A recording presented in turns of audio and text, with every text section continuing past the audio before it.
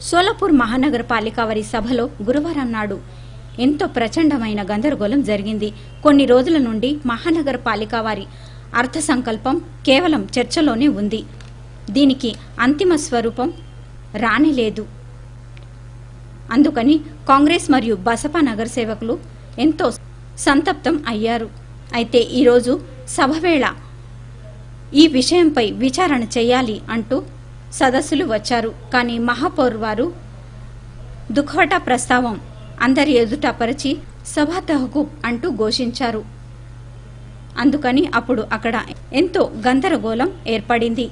ఈవేళ కాంగ్రెస్ యొక్క నగర సేవిక శ్రీదేవి ఫులారే వీరు పాలిక వారి ముఖ్య సభాగృహానికి బయట నుండి తాళం వేశారు.